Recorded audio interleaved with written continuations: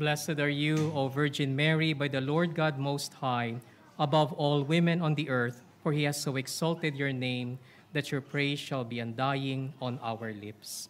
Good afternoon, everyone. We celebrate the Eucharist today in the name of the Father, and of the Son, and of the Holy Spirit. The Lord be with you. Let us acknowledge our sins and so prepare ourselves to celebrate these sacred mysteries. You were sent to heal the contrite of heart. Lord, have mercy. You came to call sinners. Christ, have mercy. You're seated at the right hand of the Father to intercede for us. Lord, have mercy. And may Almighty God have mercy on us, forgive us our sins, and bring us to everlasting life. Amen. Let us pray.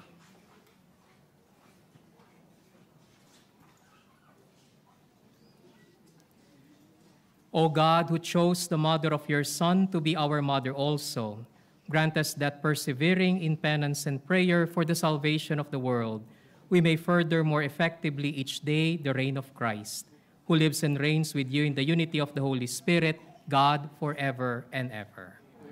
Please be seated.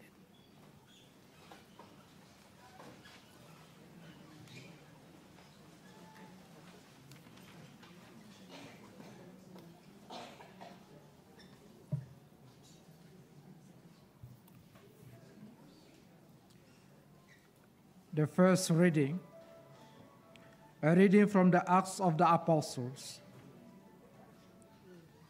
The crowd of Philippians joined in and showed its hostility to Paul and Silas.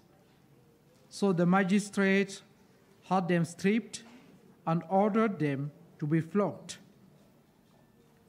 They were given many lashes and then thrown into prison and the jailer was told to keep a close watch on them.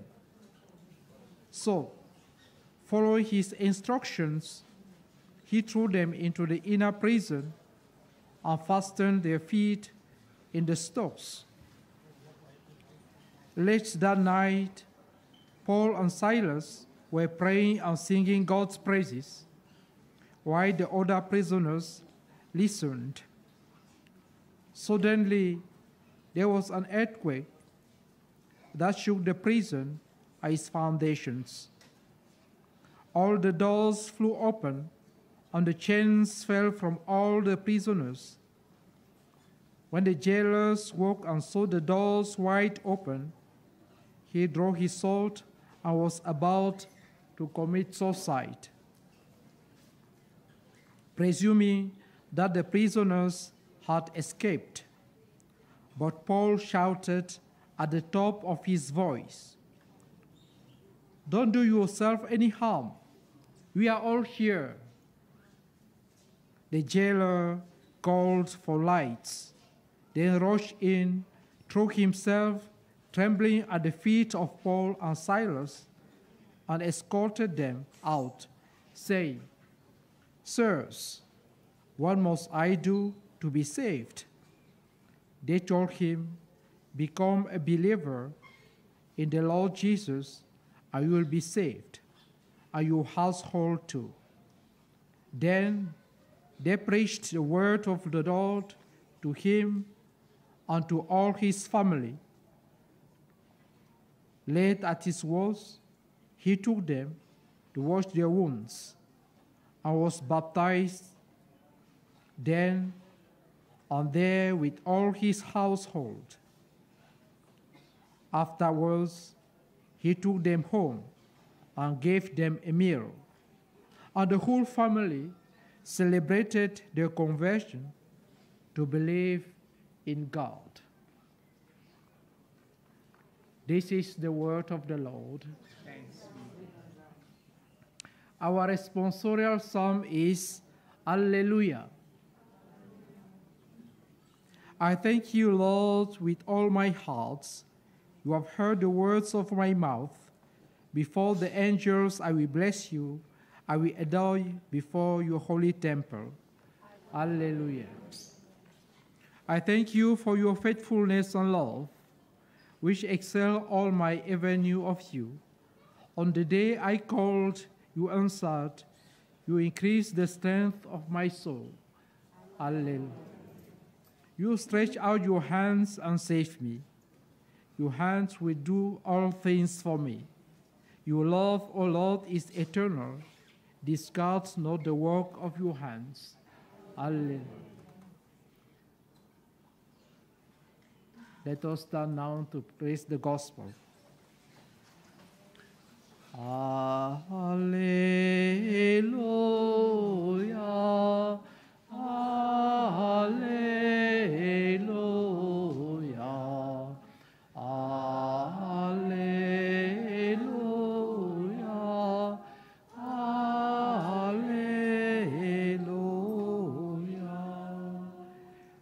Christ has risen and shone upon us whom he redeemed with his blood.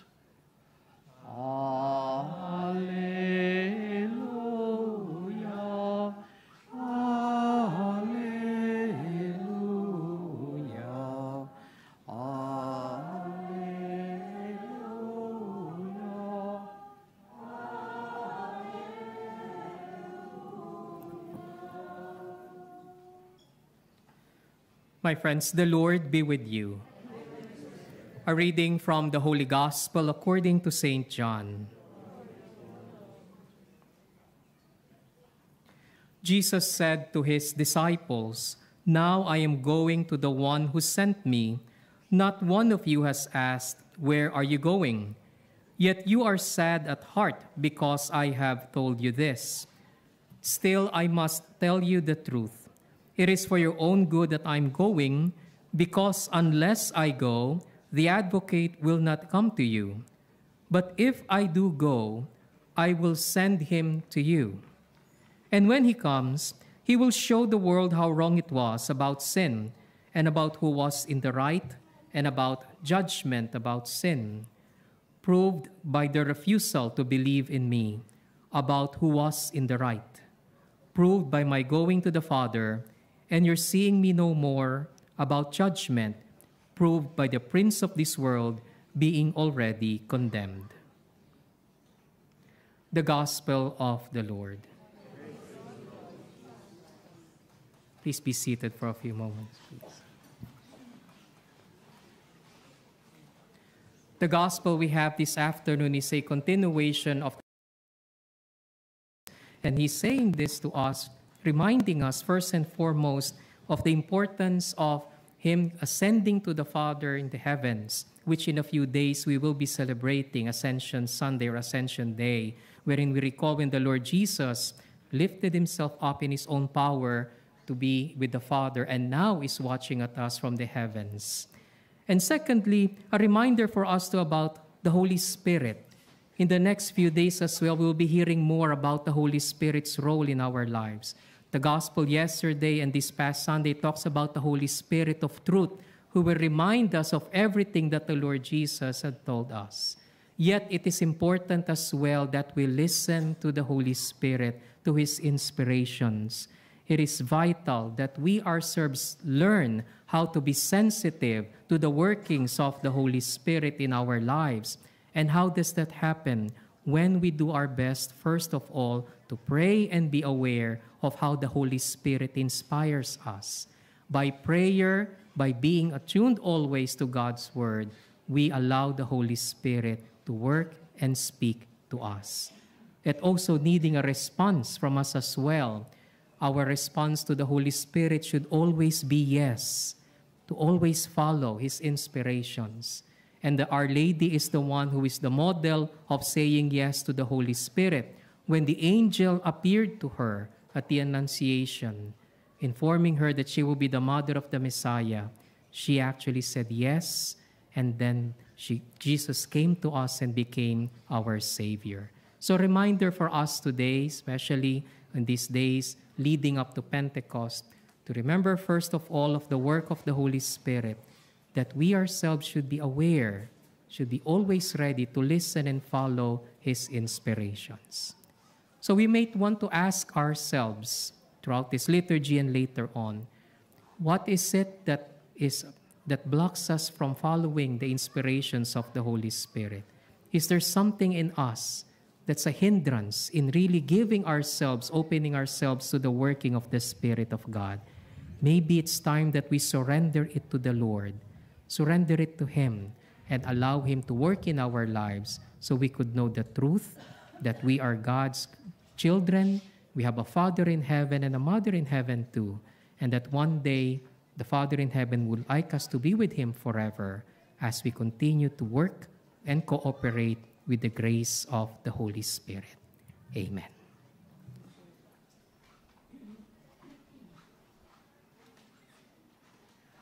Let us now stand and let us just bring to the Lord our needs and intentions. We pray for the Holy Father, all bishops, priests, deacons, and religious, that they may be continually instruments of God's working and salvation. We pray to the Lord. Lord, hear our prayer. For all government officials, that they may work and enact laws that brings justice and peace, we pray to the Lord. For the sick and those who are suffering at this time, that the Lord Jesus, through the intercession of Our Lady, they may be comforted and granted healing, we pray to the Lord. And now we pray in silence for our own intentions.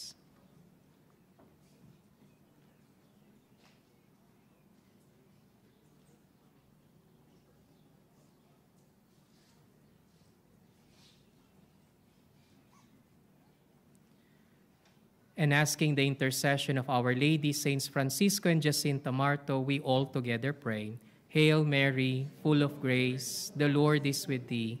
Blessed art thou among women, and blessed is the fruit of thy womb, Jesus. Holy Mary, Mother of God, pray for us sinners, now and at the hour of our death. Amen. We bring all these petitions to you, Father, through Jesus Christ our Lord. Amen. Please be seated.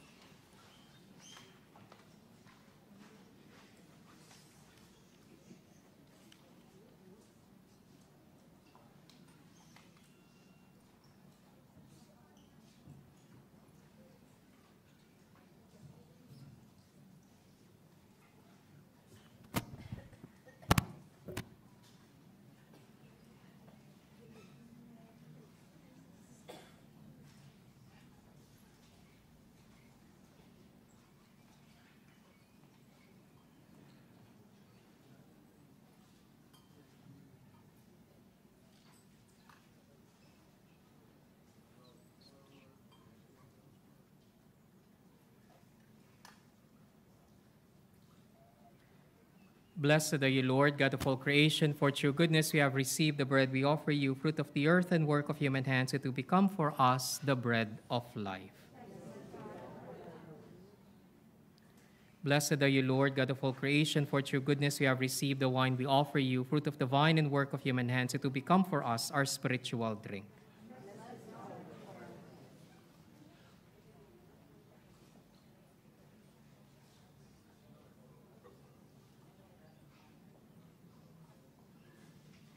Pray, my friends, that this sacrifice and yours may be acceptable to God, the Almighty Father.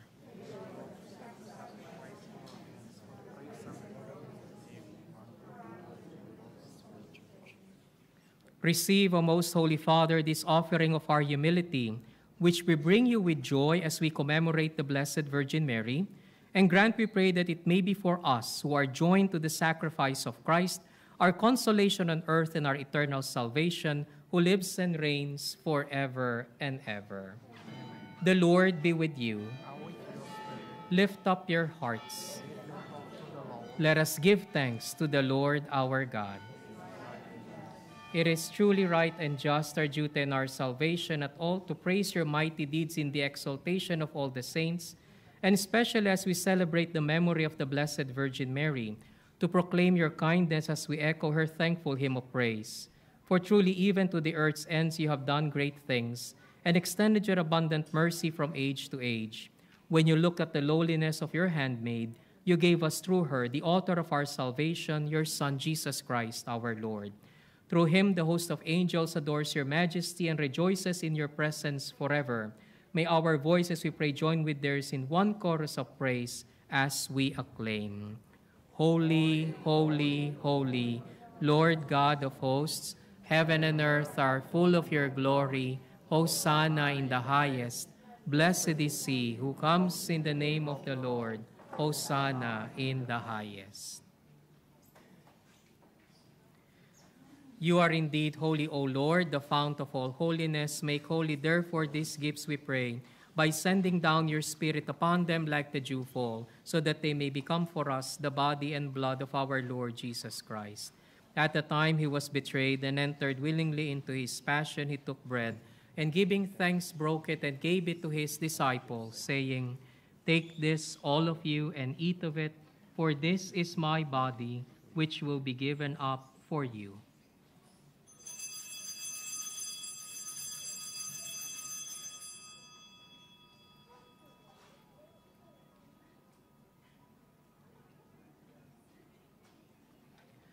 In a similar way, when supper was ended, he took the chalice, and once more giving thanks, he gave it to his disciples, saying, Take this, all of you, and drink from it, for this is the chalice of my blood, the blood of the new and eternal covenant, which will be poured out for you and for many for the forgiveness of sins.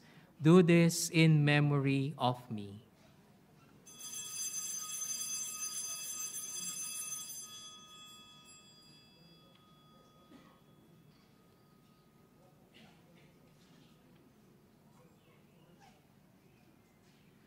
The mystery of faith.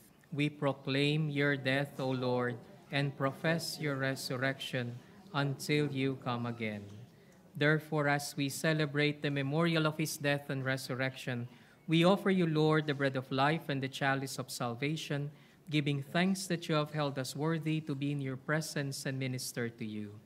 Humbly we pray that partaking of the body and blood of Christ, we may be gathered into one by the Holy Spirit.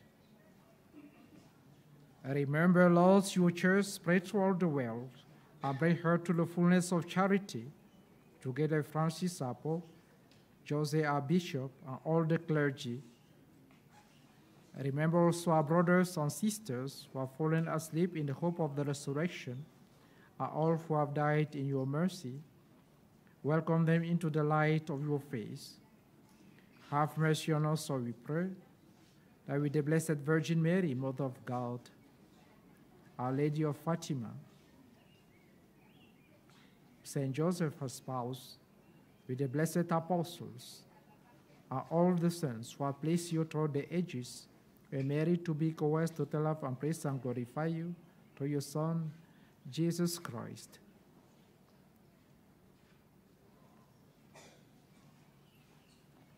Through him and with him and in him, O God, Almighty Father, in the unity of the Holy Spirit, all glory and honor is yours forever and ever.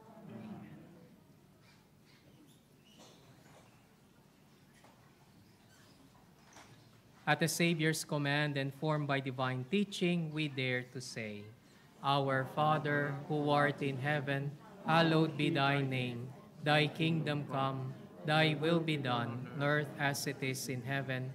Give us this day our daily bread, and forgive us our trespasses, as we forgive those who trespass against us. And lead us not into temptation, but deliver us from evil. Deliver us, Lord, we pray, from every evil. Graciously grant peace in our days, that by the help of your mercy we may be always free from sin and safe from all distress, as we await the blessed hope and the coming of our Savior, Jesus Christ. For the kingdom, the power, and the glory are yours now and forever. Lord Jesus Christ, who said to your apostles, Peace I leave you, my peace I give you. Look not on our sins, but on the faith of your church, and graciously grant her peace and unity in accordance with your will, who live and reign forever and ever. Amen. The peace of the Lord be with you always. And with your spirit. Let us offer each other the sign of peace.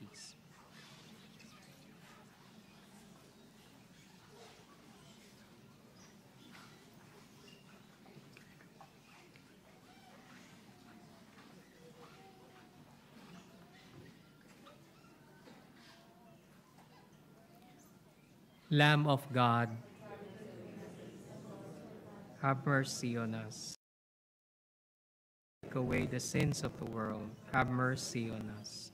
Lamb of God, you take away the sins of the world, grant us peace.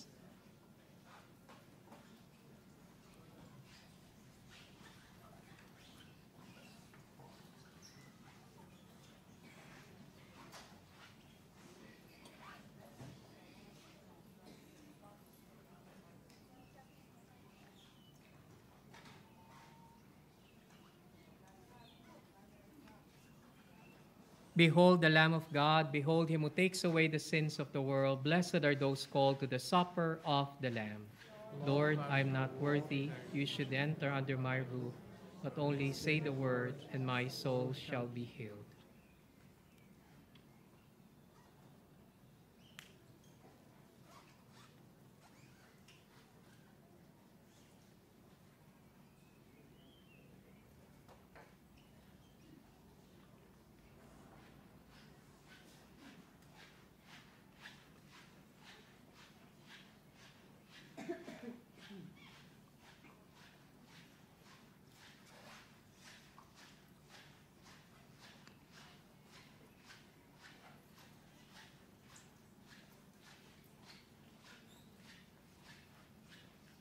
Communion antiphon, Rejoice, O Virgin Mother, for Christ has risen from the tomb.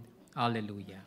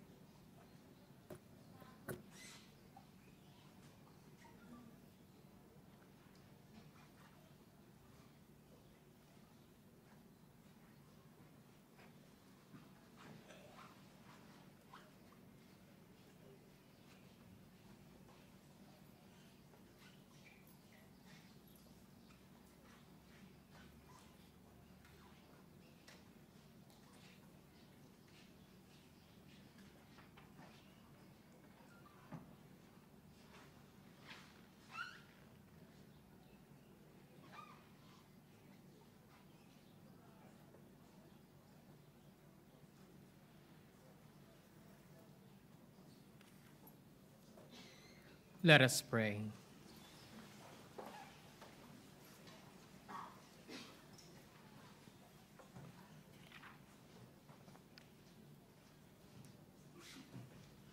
Renewed by this paschal sacrament, we pray, O Lord, that we who honor the memory of the mother of your Son may show forth in our mortal flesh the life of Jesus, who lives and reigns forever and ever. The Lord be with you. Bow down for the blessing, which we also extend for those who may be joining us online at this time. May God, through the childbearing of the Blessed Virgin Mary, willed in his great kindness to redeem the human race, be pleased to enrich you with his blessing. Amen. May you always know and everywhere the protection of her, through whom you have been found worthy to receive the author of life. Amen. May you who have devoutly gathered on this day carry away with you the gifts of spiritual joys and heavenly rewards. Amen. And may the blessing of Almighty God, the Father, the Son, and the Holy Spirit come down on you and your loved ones and your families now and forever. Amen. Our Mass is ended. Go in peace. Thanks be to God. Hail, Holy Queen, Mother of Mercy. Hail our life, our sweetness, and our hope. To thee do we cry for banished children of thee. To thee do we send up our sighs, mourning and weeping in this valley of tears. Turn then, most gracious advocate, your eyes of mercy towards us and after this our exile, show unto us the blessed fruit of thy womb, Jesus. O clement, O loving, O sweet Virgin Mary. Pray for us, the Holy Mother of God, that we may be made worthy of the promises of Christ.